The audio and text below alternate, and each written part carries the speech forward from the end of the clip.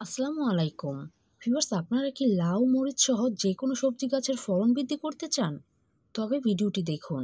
কেননা আজকে আমি আপনাদেরকে ঘরোয়া কিছু উপাদান দিয়ে এমন একটি দ্রবণ তৈরি করে দেখাবো যা যে কোনো সবজি গাছে দিলে ফলন বৃদ্ধি পাবে কয়েক গুণ। এছাড়াও আপনাদের মরিচ গাছে কি আশানুরূপ ফুল আসছে না? বা ফুল আসলেও সেই ফুলগুলো কি ঝরে যাচ্ছে? লাউ গাছে কি ইস্ত্রি ফুল আসছে না? টমেটোগুলো কি ঠিক এমনভাবে বড় হচ্ছে না? তাহলে ঘরোয়াভাবে তৈরি এই তরল সারটি দিয়ে দিন। এতে করে গাছের সব ধরনের সমস্যা খুব সহজেই দূর হবে। ফিওর্স প্রথমে আমি ঘরে থাকা কিছু উপাদান দিয়ে তরল সার তৈরি করব। এর জন্য প্রথমে আমি একটি মগের মধ্যে হাফ লিটার পানি নিয়েছি। এখন আমি অ্যাড করে নিব একশো আশি গ্রাম পেঁয়াজের খোসা ভেজানো পানি। আমি পেঁয়াজের খোসাগুলো কয়েকদিন পানির মধ্যে ভিজিয়ে রেখেছিলাম। তারপর সেই পানিটা নিয়েছি। এই পেঁয়াজের খোসা গাছে বেশি পরিমাণ ফুল, ফল ধরাতে সাহায্য করে এবং ফুল ঝরা অনেকটাই রোধ করে। এখন আরও অ্যাড করে নিচ্ছি একশো আশি গ্রাম চা পাতা ভেজানো পানি। এই চা পাতার মাঝে রয়েছে প্রচুর পরিমাণ নাইট্রোজেন, যা গাছকে দ্রুতই বড় করবে, টাটকা, সতেজ ও সবুজ রাখবে। এরপর আমি সবশেষে অ্যাড করে নিচ্ছি এক চা চামচ থিওবিট এই থিওবিট গাছে দ্রুত প্রচুর পরিমাণ ফলন আনতে সাহায্য করে, সেই সাথে সাথে সবজি গাছে বিভিন্ন রকম রোগবালাই দমন করে। এখন এই উপাদানগুলো একসাথে খুব ভালোভাবে মিশিয়ে নিব। এমনভাবে মিশিয়ে নেবেন যাতে করে চারদিকেই পানির ঘনত্ব সমান থাকে। খুব ভালো করে উপাদানগুলো একসাথে মিশিয়ে নেওয়ার পর আরও অ্যাড করে নিব পাঁচশো গ্রাম পানি। এতে করে এই দ্রবণের কার্যকারিতা অনেকটাই বৃদ্ধি পাবে। পানিটা দেওয়ার পর পুনরায় দ্রবণটা নাড়িয়ে নিব। এখন এই দ্রবণটা গাছে দেওয়ার জন্য সম্পূর্ণ প্রস্তুত। এই দ্রবণটা আপনারা যে কোনো সবজি, ফুল ও ফল গাছে দিতে পারেন। তবে চলুন জেনে নেই এই তরল সারটা আপনারা গাছে কীভাবে দিবেন। দেখুন ভিউয়ার্স আমার মরিচ গাছগুলো কতটা বড় হয়েছে। মরিচ গাছ ইতিমধ্যেই ফুল আসতে শুরু করেছে।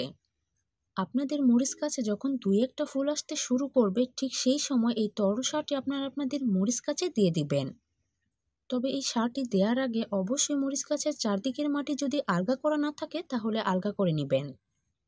আমি কিন্তু পূর্বেই মরিচ গাছের চারদিকের মাটি আলগা করেছি, তাই আজকে আর আলগা করছি না। কোন গাছে কতটুকু সার দিবেন সেটা নির্ভর করবে গাছের বৃদ্ধির উপর। আমি মরিচ গাছে তিনশো থেকে তিনশো পঞ্চাশ গ্রামের মতো তরল সারটা দিয়ে দিচ্ছি। এতে করে আপনাদের মরিচ গাছে দ্রুত ফুল আসবে, ফুল ঝরা বন্ধ হবে আর প্রচুর মরিচ ধরবে। তাই অবশ্যই মরিচের ভালো ফলন পেতে চাইলে আপনারা এই তরল সারটা মরিচ গাছে দিয়ে দিবেন। এই দিকে দেখুন আমার লাউ গাছে প্রচুর পরিমাণ স্ত্রী ফুল আসছে। তবে সঠিক পরিচর্যার অভাবে এই স্ত্রী ফুলগুলো লাউয়ে পরিণত হয় না। আপনাদের লাউ গাছে যখন দুই একটা স্ত্রী ফুল আসতে শুরু করবে, তখনই এই দ্রবণটা দিয়ে দিবেন। লাউ গাছে সারটা দেওয়ার আগে অবশ্যই খেয়াল রাখবেন লাউ গাছের মাটি যেন খুব ভালোভাবে ভিজা থাকে। আর যদি ভিজা না থাকে, তাহলে অবশ্যই পানি দিয়ে ভিজিয়ে নেবেন। এখানে সাড়ে তিনশো থেকে চারশো গ্রামের মতো দ্রবণ দিয়ে দিচ্ছি। এতে করে লাউ গাছে প্রচুর স্ত্রী ফুল আসবে আর লাউয়ের ফলন বৃদ্ধি পাবে কয়েক গুণ। একইভাবে আপনারা টমেটো গাছগুলোতেও যখন ফুল আসতে শুরু করবে, ঠিক তখনই এই দ্রবণটা দিয়ে দিবেন। এতে করে টমেটো গাছে প্রচুর ফুল ধরবে, ফুল ছড়া রোধ হবে আর প্রচুর টমেটো ধরবে। আর টমেটোগুলো সাইজে বড় হবে।